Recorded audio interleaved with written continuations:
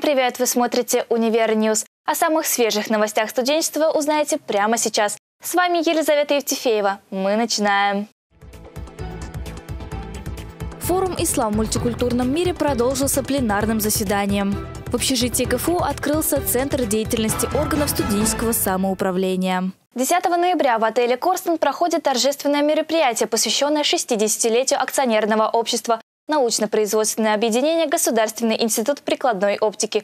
В принимает участие президент Республики Татарстан Рустам Миниханов и ректор Казанского федерального университета Ильшат Гафуров. А теперь к остальным новостям. 10 ноября в зале попечительского совета КФУ прошло пленарное заседание 7-го международного форума «Ислам в мультикультурном мире». Как это было, смотри в сюжете Дианы Шиловой. Актуальные вопросы исламоведения и исламского образования стали темой седьмого международного форума «Ислам в мультикультурном мире». 10 ноября на базе Казанского федерального университета состоялось пленарное заседание. Казань исторически являлась местом пересечения Востока и Запада, всегда играла определяющую роль в азиатском векторе внешней культурной политики российского государства. Достаточно вспомнить, что значительная часть имамов, проповедующих в регионах Средней Азии и Сибири, получала свое религиозное образование именно в Казанском медресе. Форум «Ислам в мультикультурном мире» проводится для объединения научных сил специалистов, занимающихся исламской проблематикой. Мы давно вышли из узких рамок научных конференций. Здесь принимаются вопросы и стратегического плана, здесь обсуждаются и прогнозы, э, делается анализ и мониторинг целого ряда направлений вот именно современной религиозной жизни.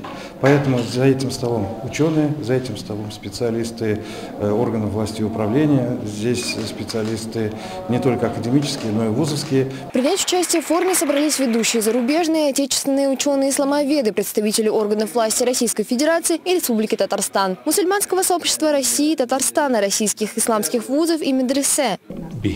Мы должны концентрироваться на те принципы, которые нас сближают, и те моральные нормы, которые помогают нам лучше понимать друг друга. И, конечно же, это основная цель конференции, которая приведет нас в будущем к взаимопониманию взаимопониманию и мирному существованию.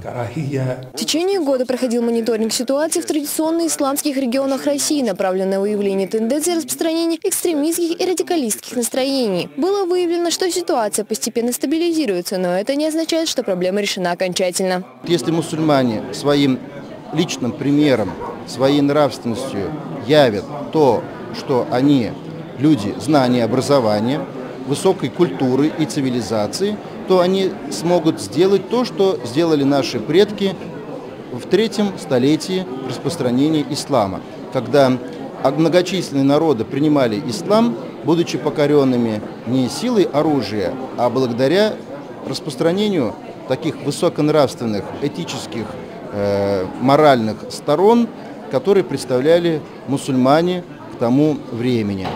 Очень важно с точки зрения самой науки, развития исламоведения, потому что за годы советской власти, к сожалению, мы многие свои исламоведческие традиции утеряли, их надо возрождать.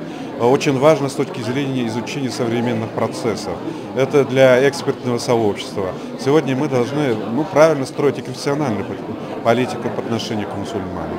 Это важно с точки зрения самих мусульман, они должны знать, что происходит сегодня внутри самой умы. В 2017 году исполнилось 210 лет Казанскому академическому востоковедению, традиции которые были созданы более 200 лет назад, сохраняются и по сей день. Казанское академическое востоковедение по-прежнему процветает и развивается. Нам вот скоро исполнится 213 лет, практически после создания сразу Казанского университета э, знаменитый был создан впоследствии восточный разряд, сыгравший ключевую, конечно, роль не только вот э, в развитии отечественной ориенталистики, но и в вопросах сближения и взаимопонимания носителей различных культурных традиций, а также осмысления их религиозно-философского наследия. В рамках форума будет положено начало знаковой инициативе востоковедов Казанского университета проведения Всероссийской студенческой олимпиады по арабскому языку. Сокровище, которое вы ищете, арабский язык, которое пройдет с 1 по 2 декабря. Диана Шилова, Владислав Михневский, Univer News.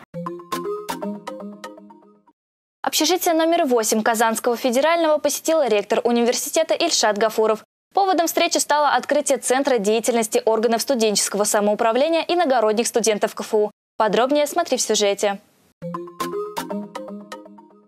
Центр деятельности органов студенческого самоуправления иногородних студентов открылся в Казанском университете. В честь торжественного мероприятия по традиции ректор университета Ильшат Гафуров разрезал красную ленточку. На мероприятии студентами было отмечено особое внимание ректора Ильшата Гафурова к улучшению условий проживания иногородних студентов и созданию условий для развития органов студенческого самоуправления в общежитиях университета. Отдельно хотелось бы, конечно, поблагодарить за проведение ремонтных работ в наших общежитиях и создание центра, где мы имеем все условия для организации внеучебной деятельности иногородних студентов. Председатель первичной профсоюзной организации студентов Казанского университета Юлия Виноградова рассказала о результатах недавно проведенного мониторинга. Он проходил среди иногородних студентов, проживающих в общежитиях Казанского университета на предмет выявления жилищно-бытовых проблем. Результаты показали, что большинство студентов устраивают условия проживания, но в некоторых общежитиях студентам не хватает мебели. Ильшат Гафуров отметил, что этот вопрос обязательно обязательно будет рассмотрен и решен.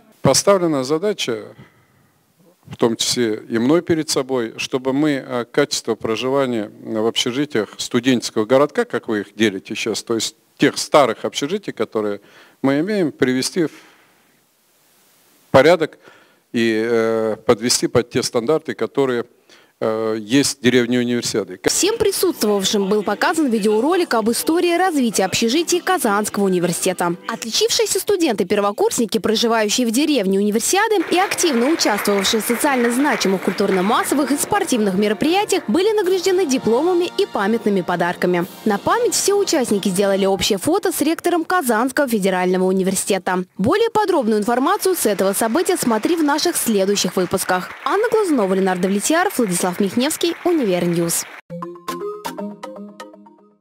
В Институте физики Казанского федерального университета состоялась лекция «Аккреционные процессы в астрофизике». Лектором выступил профессор Московского государственного университета. Подробнее в следующем сюжете. Для студентов Института физики КФУ выступил профессор Московского государственного университета и ведущий научный сотрудник Open Lab «Рентгеновская астрономия», стратегическая и академическая единица «Астровызов» Казанского федерального университета Николай Шакура. Лектор рассказал о наиболее важных и принципиальных разделах современной теории дисковой и квазисферической аккреции на черные дыры и замагниченные нейтронные звезды. Артем Тупичкин, Роман Самарин, Univer News. Юридический факультет Казанского федерального университета провел необычное мероприятие для своих первокурсников. Лейтмотив «Борьба с коррупцией». Подробнее ты узнаешь прямо сейчас в сюжете Олега Кашина. Коррупция – это бич общества, с которым борются почти с момента появления цивилизации. И кто, как не будущие юристы, должны это понимать. Именно поэтому 9 ноября юридический факультет Казанского федерального университета решил провести необычное мероприятие для своих первокурсников, чтобы студенты почувствовали все последствия этого тяжелого преступления. Мероприятие проходило в виде квеста, задание одно, но непростое – закрыть сессию. Квест мы этот проводим в формате информационно-просветительского специально, чтобы студенты именно на первом курсе, во-первых, сами а, попробовали себя в качестве уже студентов, которые сдают сессию, почувствовали эту ответственность, те знания, которые есть у них, хватает, не хватает а, в этом контексте. И плюс даем определенные базовые знания по поводу коррупции, что это такое, куда обращаться и как с этим вообще жить. Преступлением является как дача, так и получение взятки и наказываются обоюдно. Чтобы усвоить этот урок, первокурсников разделили на две неравные группы. Одна группа – обычные студенты, которые хотят закрыть сессию, а вторая – преподаватели, которые иногда пытаются уговорить студентов дать им денег за зачет. Моя задача в этом квесте уговорить студента дать мне взятку и проверить, насколько он порядочный. Вот пока одна группа студентов попались очень честные, считают, что взятка это плохо. Но вторые, к сожалению, оказались не такие же харизматичные и дали взятку. Чтобы победить в этом квесте, надо закрыть всю сессию честным путем. Студенты об этом не знают, для них главная задача – это просто получить подпись преподавателя. Поэтому часть из них в финале ждало большое разочарование, и победа, которая была так близка, стала для них провалом. Олег Кашин, Роман Самарин, Univer News. Это были все новости на сегодня. Следи за нами во всех социальных сетях и будь всегда в курсе главных событий КФУ. До новых встреч. Пока.